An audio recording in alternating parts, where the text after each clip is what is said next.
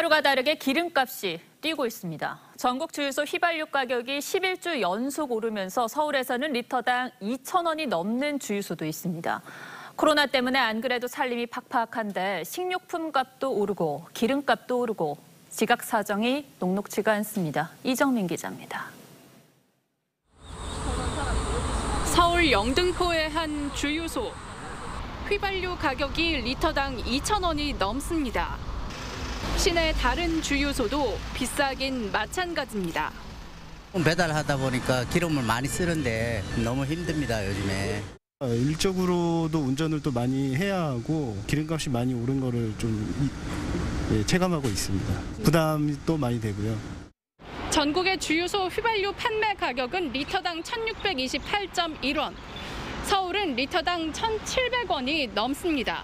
지난 2018년 11월 이후 최고치입니다. 11주 연속 상승했습니다. 경유 가격도 리터당 1,424원으로 2년 8개월여 만에 최고입니다. 국제유가가 꾸준히 오르고 있기 때문입니다. 해외에서 코로나19 백신 접종이 확대되면서 석유 수요가 증가하고 있고 산유국들의 감산 논의도 국제 유가에 영향을 끼치고 있습니다. 수요가 증가할 것으로 예상이 되지만 공급이 그만큼 증가할 것으로 예상되지 못하기 때문인데요. 증산이 부산되면서 국제유가가 가장 최고치까지 올라섰습니다. 전문가들은 앞으로 2, 3주 동안은 기름값이 계속 오를 거라 전망하고 있습니다.